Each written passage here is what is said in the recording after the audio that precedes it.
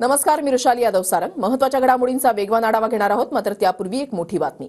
अजितदादांविरोधात उमेदवार देणं तुतारी गटाची चूक होती हे आता तरी कबूल करावं असं अमोल मिटकरींनी म्हटलंय. अजित पवारांप्रमाणे सुप्रिया सुळेंनीही औदार्य दाखवावं असं मिटकरींनी म्हटलंय.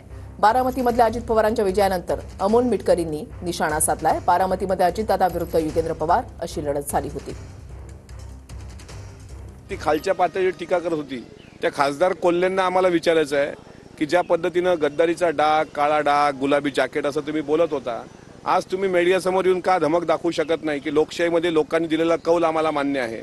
ती दानत फक्त अजितदादांमध्ये होती की बारामती लोकसभेच्या पराभवानंतर सुद्धा जनतेने दिलेला कौल आम्ही मान्य केला आणि माझ्याकडून चूक झाली हे प्रामाणिकपणे त्यांनी कबूल केलं.